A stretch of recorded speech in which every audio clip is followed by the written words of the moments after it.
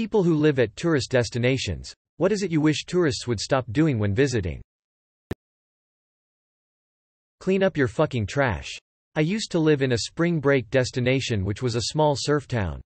After spring break, people would be cleaning up pounds upon pounds of beer cans, broken bottles, needles, used condoms. Fucking revolting. Edit for you nitpickers. I meant stop throwing your garbage on the ground. There, now get off my cheeks. Stopping their cars in the middle of the road to take in a view. WTF? These comments make me feel like a good tourist. Driving drunk. I live in Sonoma County, California. Make sure you've got a sober driver FFS. The roads around here are never more dangerous than winery tasting room closing time on a sunny weekend. Edit. So many fellow locals in this thread. Hello neighbors. Be safe out there, no matter where you are. Stop feeding the damn seagulls. Stop walking out into the middle of an active downtown street to take group pictures of yourselves in cheerleading outfits on the spot where Kennedy was shot. Leave the wildlife alone. And this doesn't just extend to tourists but to people that live here too.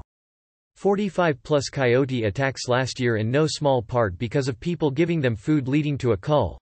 Bears getting habituated to people because they're being given food leading to them getting killed. Otters and sea lions getting fed. They're not cute cuddly things. They're wild animals and will kill you and then, because they're doing what they do, they'll get killed because they're dangerous to humans. When in reality they're only dangerous to ignorant rubes with no respect for nature.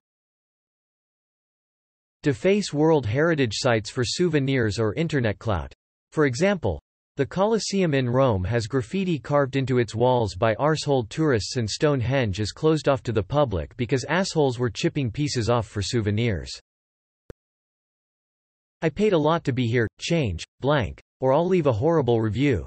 Driving like a dickhead. Leaving garbage anywhere but a rubbish bin. Stopping in the middle of the road to let out your family of 12 instead of pulling into the parking lot. I have a lot of stories. I live in Hawaii and work only with tourists. Best yet, my company was asked to contact the cruise ship company to have them move the ship because it disrupted the sunset. Stop being a belligerent asshole just because you're in Nawlins. It's still not an excuse to get blackout drunk, litter, and make hell for food service workers. Going on the Black Rocks and being swept out to the Atlantic Ocean, risking the lives of first responders and locals many of whom are already traumatized from Swissair. Don't freaking carve your name on stuff. The amount of people who need to carve their names onto historical buildings and statues are just crazy. Don't be an ass. You are ruining the place. And respect people's properties. Yeah, it's a cute street with cute houses and charming gardens. But that does not give you the right to enter people's private properties to peep in their windows, walk in their gardens and try to open their doors. A colleague is selling his house because he's tired of people peeping in their windows and trying to open their door to have a look inside. He got yelled at for being inappropriate while he was sunbathing in his own garden by a tourist who let themselves in the gate and walked around the house to have a look at his garden. In New York, if you visit, please walk on the right side of the sidewalk not the left. Also, if you need to stop and look at your phone or have a conversation with your fellow travelers, step aside. People are walking and if you abruptly stop it usually results in someone bumping into you. Also, do not walk like five people side by side and walking slowly. People can't get around you. It is infuriating. But, please keep visiting NYC. Spain. We get a shit fuckton of tourists. Very well behaved for the most part where I am. So, thanks for doing it right, tourists. The worst is littering on the beach, which is thankfully pretty rare. I occasionally see someone put a cigarette butt in the sand. A lot are taken away when they leave, but the sand has a way of hiding stuff, so a lot remain. I'll give you tourists one tip. Night swimming. If you put your keys, glasses, etc. down in the sand, they're gone. Between the sand and the dark, you'll never see them again. Amsterdam. Walking around like they're at Legoland. Blindly stepping into traffic, oblivious to the fact that people actually live here. We use the bike to get to work, to get groceries, we're not just aimlessly cycling around for the fun of it. Allow the me from 20 years ago to take this opportunity to officially apologize for recreating the Abbey Road picture with my friends during a college trip to London.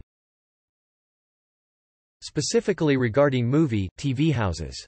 Unless the house is a museum or has tours, it's almost certainly someone's home. Stay off their porch, don't walk through the yard, and stop throwing pizzas on the roof.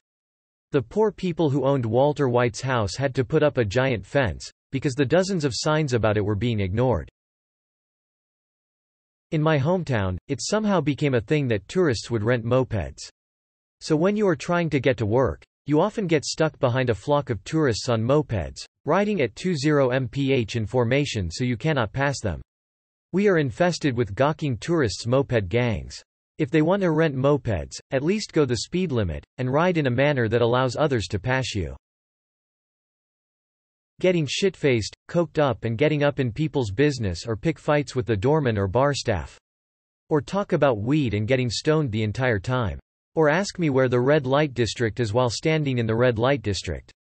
Or renting a bike when the last time you rode one was in preschool.